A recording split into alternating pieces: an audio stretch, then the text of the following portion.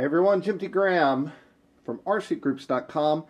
I was working on my new Sky Zone goggles and I ran into a little snafu. I went on the internet and I found fragments of solutions, but not a total.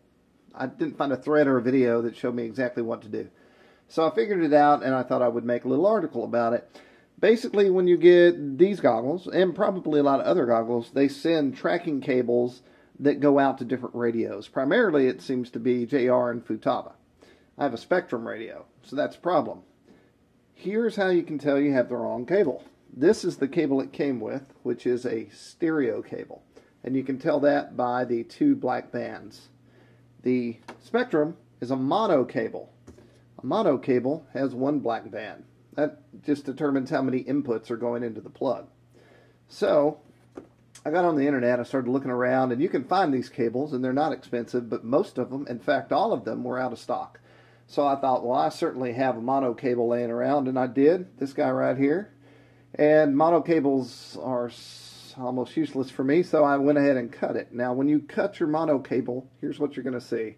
You're going to have this is wrapped around the external interior piece here. So this piece over here I just wound up, and that is your ground, black. Make sure you have all the strands wound up. And then in the center, protected by this plastic sheath, is your positive. So what you want to do is just take your uh, wire snips and pull this off so this is exposed. And then I went in and I tinned this and I tinned this with solder. And so that was ready. And then with the tracking cable, I just snipped it, which is where this came from. So you'll see with the original cable, it has three wires. And the question you're going to want to ask is, what about this third wire, Jim? What about this white wire? Don't worry about it. Just leave it just like that. The wires you care about now are red and black, which makes it very simple. So I snipped those off right here, and uh, I took the existing red and black coming off of this that were tinned, and then I took this negative black, center positive red, and I uh, soldered them together. And then I put some shrink wrap around each piece so that they would never touch each other. And then I put a big piece on the outside, which leaves you now with a head tracking cable coming out of your goggles into a mono.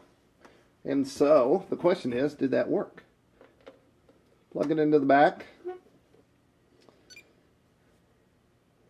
And then what you want to do to uh, set up your training, I may have to edit this in here, but uh, you're going to want to click this, scroll down, this is DX18 of course, scroll down to System Setup, you're going to turn this to yes.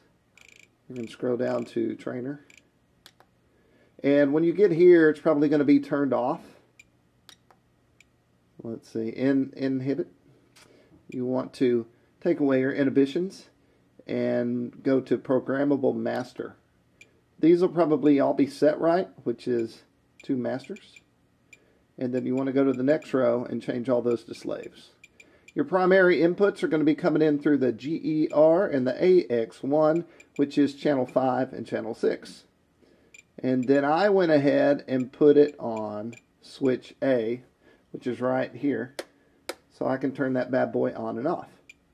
And then master override I have on active. I have to play with that once I actually get a pan and tilt unit. So uh, now we want to go back. The question is, did it work? So what I'm going to do click my roller once, go to monitor, and so this monitors your input. There you see the throttle going up and down and aileron, elevator. Okay, so here's uh, GER and AX1, auxiliary 1, which is 5 and 6. So the theory is, is that when I move the goggles back and forth, we should see these in our monitor. So, 5 and 6. Right, left. There they are. They're moving. You see it? That means we're good and we were successful in this amazingly simple two-wire job out of that. So no cable purchase necessary. If you needed this mono cable and you didn't have one, you can go to uh, Radio Shack.